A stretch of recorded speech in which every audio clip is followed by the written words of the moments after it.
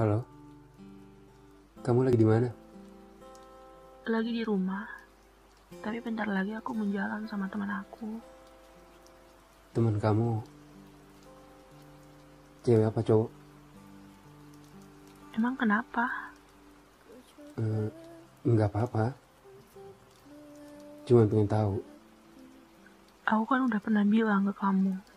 Jangan terlalu berharap. Lupain aja aku. Aku yakin suatu saat kamu akan bertemu orang yang jauh lebih baik dari aku. Jangan terlalu memikirkan aku. Pikiran dan perasaan itu dua hal yang berbeda. Jujur, aku udah berusaha banget buat ngemikirin kamu lagi. Tapi aku lupa. Ternyata di hati aku masih ada kamu.